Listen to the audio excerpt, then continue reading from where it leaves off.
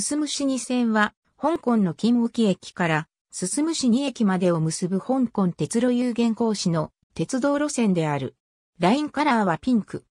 2005年9月12日に開業した香港ディズニーランドへのアクセス路線として、金沖駅進む市2駅間をおよそ3分間で結ぶ路線である。全区間単線で途中駅はない。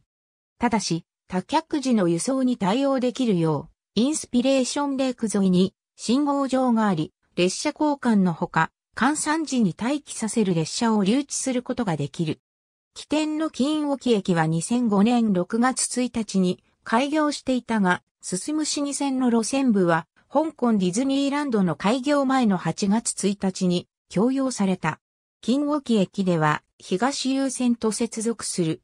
4から10分に1本という間隔で運転されている。MTR メトロキャメル電車を、この路線の専用車両に改造した。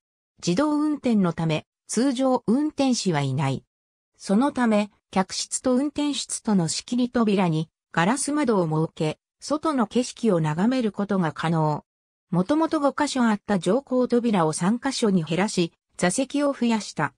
ディズニーランドへ向かう路線なので、メインキャラクターのミッキーマウスのシルエットを模した窓枠と吊り革が採用されている。駅路線図ウィーキメディアコモンズには、進む死に線に関するカテゴリーがあります。ありがとうございます。